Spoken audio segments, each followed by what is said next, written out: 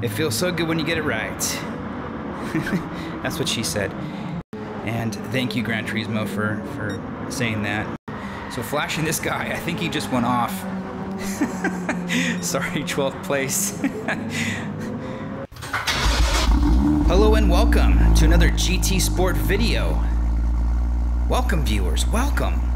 You know, I'm posting these because a Super GT guy I usually watch what doing Gran Turismo videos hasn't been posting, so I'm posting these. You know, I also want to give a plug to uh, Mechanic CG. Awesome videos, great Gran Turismo videos as well. Here we are at Brands Hatch, and in the GR1 category, the Porsche 919 Hybrid. Love this Porsche. Starting off third at Brands Hatch, here we go. Coming around for the start finish line, it's a start. Green, green, green. Coming down the hill, this is a really tricky corner. It feels so good when you get it right. That's what she said. Anyway, turning into turn two, I think this would be powering out of the straightaway. It's pretty important. This is a really tricky left-hander as well, using all the curb and then some. Going down, just trying to get settled here. Everybody calm down. Everybody just calm down, calm down. All right, let's see what we got here.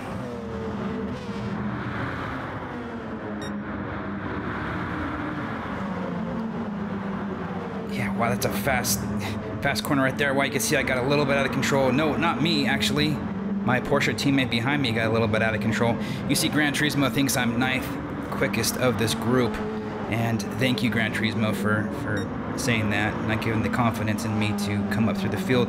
But I love how the uh, three lights on the side are illuminated, meaning I'm in third place. Looks like we have an Audi in front of me. Those Audis are really quick, especially down the straightaway here. Just can't seem to get around this guy, ZW. Love the sparks flying, of course. Heavy on fuel, going down for the pass. Oh, looks like a little bump there from ZW. And I'm off cleanly right there, and it looked like that was the best sector time of the race as well. So of course we are heavy on fuel. We are on hard tires, hard racing tires. Another fastest sector time. This might be a fast lap for us on this one. Down underneath the bridge, you see some sparks here as the car bottoms out. Yep, heavy on fuel.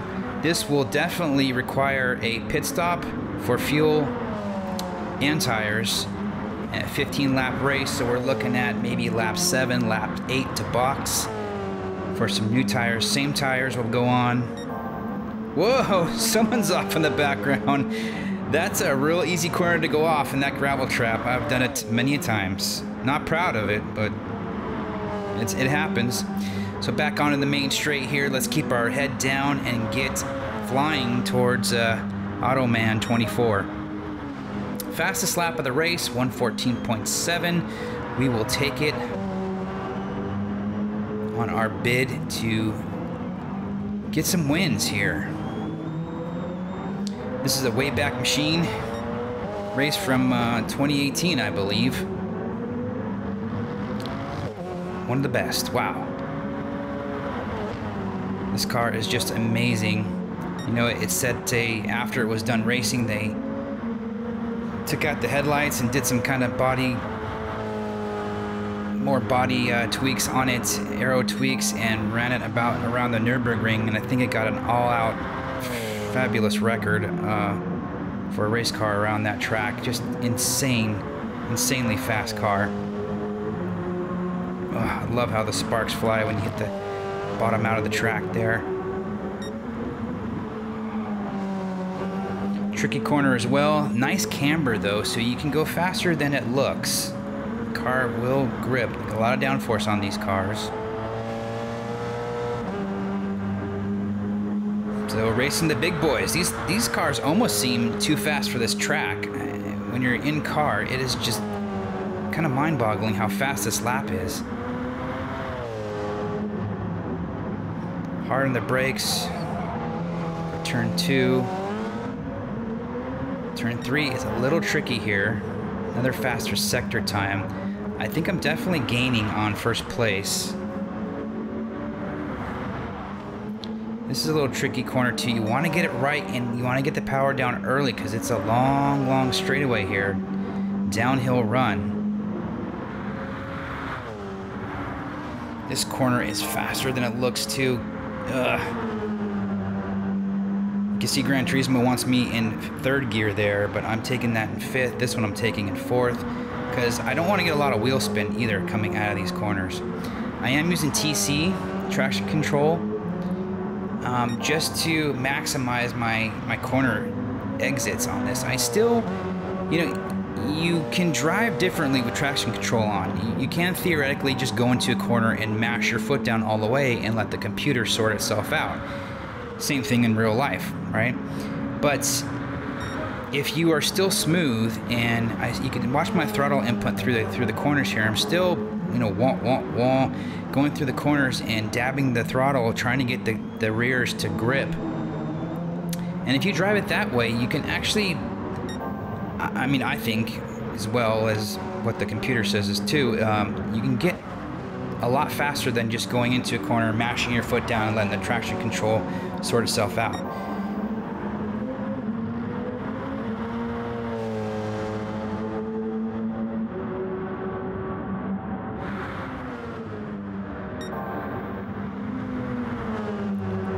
Bottoming out again, still heavy on fuel. You can see I'm halfway through my fuel now and I'm on highest fuel setting, not reserve, the highest power setting, number one on here, because it's basically a sprint to the first pit stop and a sprint to the second pit stop. I don't know if I'm gaining on first place there.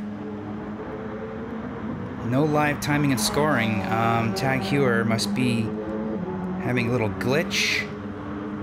Back onto the main straightaway. You see my boys out there in the pits getting ready to box. Probably uh, getting the tires ready.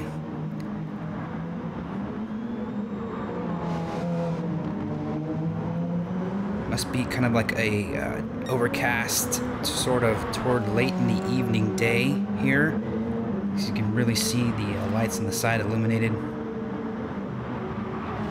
I feel like it's a cold winter day as opposed to the heat of the summer right now.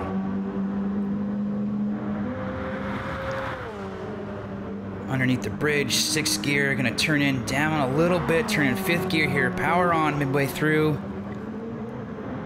And down to fourth here, use the curbs, watch that exit curb. It's really easy to go in the gravel right there, especially right here too. This is a very tricky corner. This one is a pretty flat out 90 degree corner. Whoa, someone's... It's Automan! Whoa, we have a new development here. Automan has gone off and handed me the lead, and you know what? We'll take it. Something's going on around there, and uh, no replay needed, but he definitely messed up, so we're in the lead. And chasing down, looks like we're going to run into lap traffic here of 15th place. We're going to dispose of him really quickly and get around these people so we can start concentrating now on just setting fast laps, clean laps, managing the tires, managing the fuel. Might start short shifting here. It really does make a huge difference. You can also uh, lift and coast before your braking zones to save some fuel as well without turning down the fuel settings. As we go past 14th place, we lap him in the Peugeot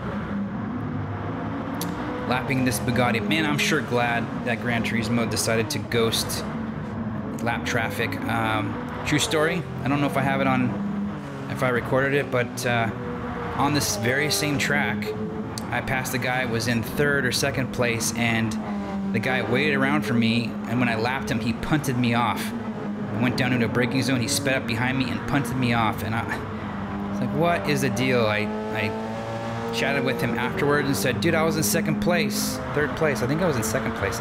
Why did you do that? And he said, you punted me in the beginning of the race. I'm like, oh, man, I did not. Um, I watched the replay. It wasn't me. It was somebody else. He thought it was me, and then he punted me, and it it ruined my race. So lap traffic used to be a factor in Gran Turismo. It still is. I mean, if you ask me, ghosting a competitor is an awesome step, and I welcome that, but it still throws me off. I still am trying to look through them. It's a distraction. It's like having, uh, you know, people doing jazz hands in front of your face when you're driving down the this straightaway here at 180 miles an hour. It's um, still a distraction, especially if you catch these guys in the corners. So it does throw you off. I think it throws everybody off, and you just kind of have to look through it and, and, and, power through it and get it and uh, get on with it. But major distraction. So thank you for ghosting them, but still a distraction. And we are lapping. It looks like very consistent, except to see that last lap, lap seven, was a 116. Probably because I got a little bit distracted on the lap traffic. Here we go, box, box, box. And we're coming into pits. Four fresh tires, come on boys. QuadrantX boys go to town. Waiting for the fuel, I'm gonna take just enough to get by. 74, we're at 74 and we're off. So you can see we pitted at lap 9. A little bit more than the halfway point. Took about three quarters worth of fuel. And we're in second place again with uh, somebody out in front. I'm hoping that he did not pit yet. And that we should be able to regain our lead as soon as he goes in the pits. We'll see what happens here. Anybody read what that uh, guy's name is? I have my glasses on. Jillian? Is that, is that what that is? Anyway, we're catching up to him, the new leader. Looks like we're catching up pretty quick. See more sparks flying as we added more fuel. Especially at these high downforce areas where the car gets smashed into the ground, compresses the suspension because of the downforce. Yeah, he took... What is that car? Is that the Hyundai TR1 prototype. What is that? Yeah, I, I, forget what that car is, but you know the reason why I like the Porsche. Oh, he's pitting. Okay, so we should regain the lead here. And wow, he only had two more liters or gallons. I think they do it in liters. It looks like he was very low on fuel. See how short shifting there a little bit. Just keep it on the black stuff. Keep it on the black stuff. See my throttle input is nice and smooth, even though I'm using TC. I've had uh, very conflicting debates over Gran Turismo and, and the use of traction control. I try not to use it at all. It's more of a challenge as a driver, but there are some cases where obviously it helps. But in Gran Turismo now, I think more than ever, it does penalize you. So if you're if you're using that as a crutch to come out of corners, it'll definitely slow you down and I can catch up if I'm not using traction control. Um, if I'm using traction control, like if I'm driving like I was, um, start over here. If I'm driving as if traction control is not on, meaning smooth as I can, being smooth with the throttle, midway corner, you see my throttle input there, like wah, wah, wah, you know, getting the power down smoothly, if I was driving like that with traction control, then I, I feel like I'm not getting hindered by the traction control slowing me down. Whereas if I'm just flying into a corner, late braking, jumping on the brakes, turning the car all the way, full lock, and then stomping on the throttle, and the computer regulating the throttle for me, I think that is a big disadvantage in Gran Turismo. So flashing this guy, I think he just went off Sorry, 12th place. Leaders coming through. Don't ignore the blue flags, okay? Just just pull over. Just make some room for the leaders here. That's a great shot. Flying through the forest, Brands Hatch.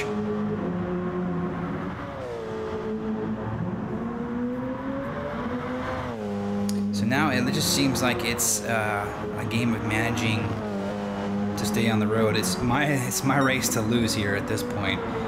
Um, you know, you, you, gotta you gotta keep. Well, it looks like he's catching up. You gotta keep your pace up, and sometimes it's easier, frankly, to run in second place because you have a target to hit. Um, when you're out in front, sometimes you can just kind of get in the funk, get in the zone, and there's a 115.3. So, not my fastest.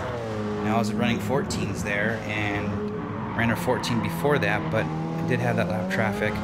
It looks like Automan has turned up the, the wick here. It looks like he's definitely gaining, so we have... I believe he's in a Porsche.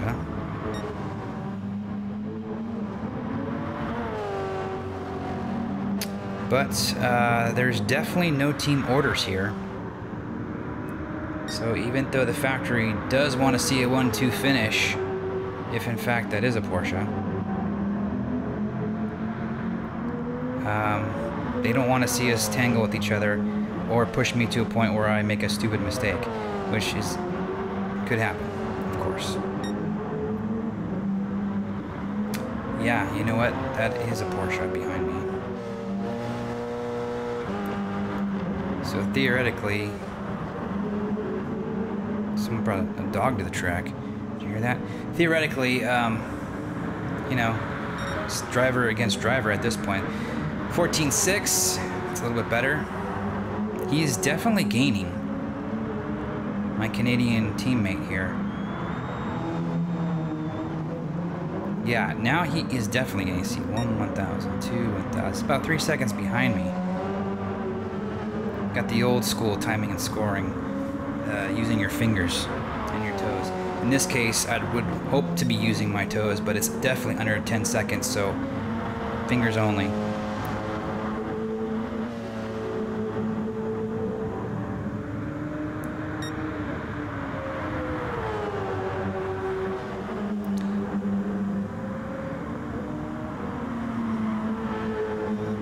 It's He's definitely gaining on me. I might have been in a situation where I'm saving fuel too. I might have taken just enough to get by with the knowledge that I need to short shift. Oh, off the track a little bit. Oh, he did the same thing. So maybe he's watching me too much because he just made a bigger mistake than I did. Which is lucky for us, right? He could have capitalized on that little, little mistake there.